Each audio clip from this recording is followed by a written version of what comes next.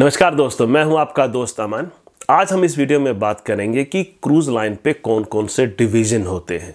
चलो स्टार्ट करते हैं इस वीडियो को और जानते हैं कि वो तीन डिवीज़न कौन से हैं और उनके नीचे कौन कौन से डिपार्टमेंट आते हैं।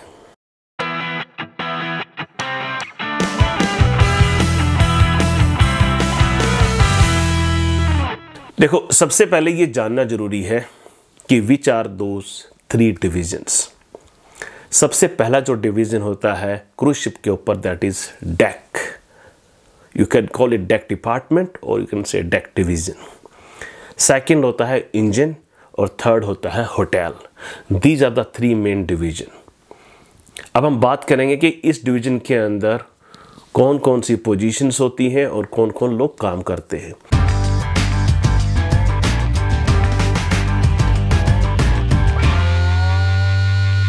तो सबसे पहले हम बात करते हैं डेक की। डेक के अंदर जितना भी स्टाफ होता है, वो मोस्टली वो स्टाफ होता है जो या तो शिप को मेंटेन करते हैं और या शिप को ऑपरेट करते हैं। दैट मीन्स मैं बात कर रहा हूँ नेविगेशन डिपार्टमेंट की, जिनकी एजुकेशन अलग होती है और उनकी रैंकिंग जो होती है, वो होती है सबसे टॉप में जो होता है कैप्टन कैप्टन के नीचे होता है। स्टाफ कैप्टन स्टाफ कैप्टन के जो नीचे होता है दैट इज़ सेफ्टी ऑफिसर और you can say chief officer उसके बाद first officer then second officer third officer and cadet ये वो लोग हैं जो एक मर्चेंट नेवी का कोर्स करते हैं और उसके बाद क्रूज शिप ज्वाइन करते हैं।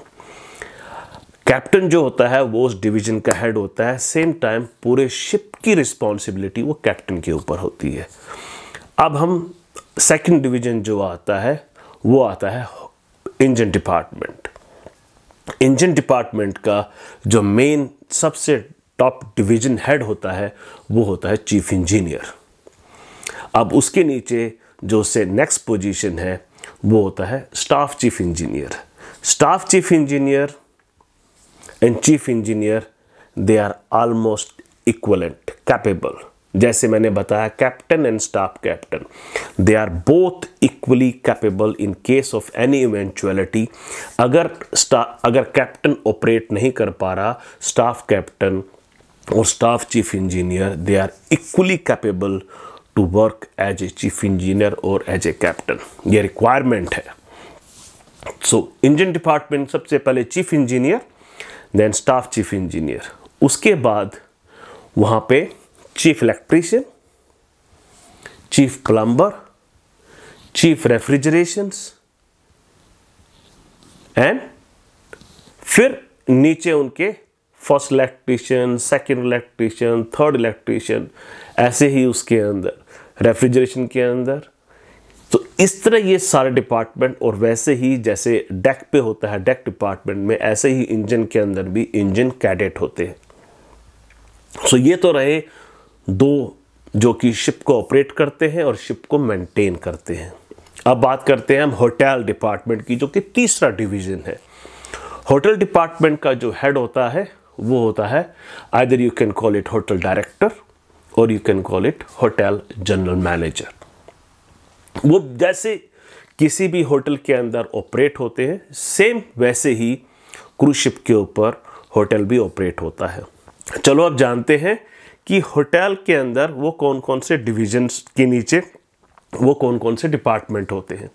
सबसे पहले मैंने बताया आपको, होटल जनरल मैनेजर होता है और you can call it hotel director.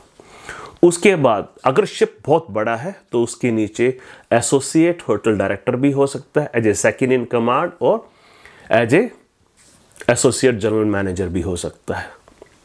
उसके बाद आते हैं सारे department head beverage operation manager restaurant manager executive chef housekeeping manager spa manager IT managers these are all department heads जो कि रिस्पॉन्सिबल है अपने डिपार्टमेंट के।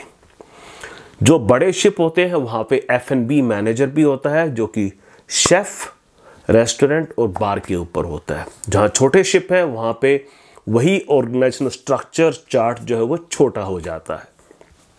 उसके बाद हम बात करें डिपार्टमेंट के अंदर then the same chart goes down let's take restaurant so restaurant manager हुआ, उसके नीचे assistant restaurant manager assistant restaurant manager के नीचे then you can say assistant maitre d और you can say maitre d some you will find find the as a restaurant manager and then head waiter then waiter, second waiter, first waiter, bus boy. So, this is how it goes. हर department में वही होता है, जो किसी भी hotel में होता है होटल डिपार्टमेंट में। लेकिन डिपेंड करता है कि होटल का और शिप का साइज़ क्या है? उसके हिसाब से ही उसके चार्ट जो है ऑर्गेनाइजेशन स्ट्रक्चर जो है, वो बढ़ जाता है और घट जाता है। So this is how it works I hope you like this information if you have any question any doubt any maybe you would like to know something else, please do write down in the comment box and I'll be more than happy to answer your every single question. Thank you so much for watching this video. See you next time with something new, something different.